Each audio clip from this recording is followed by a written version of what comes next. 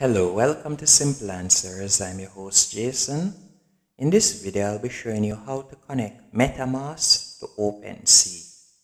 First, you're going to need a MetaMask account.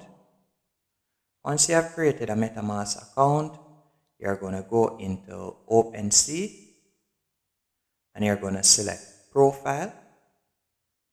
And right there, you'll see Connect Wallet and you're going to select MetaMask Once you have selected MetaMask, it will automatically go into your MetaMask account and then you'll see connect to this site and you'll tap on connect. As you can see, connected to OpenSea.io and go back to browser. So now if you should go back into OpenSea, you are now connected. Your MetaMask account is now connected. Hope you found this video helpful and informative. If you did, be sure to hit the like button and subscribe and thank you for watching. Hello, welcome to Simple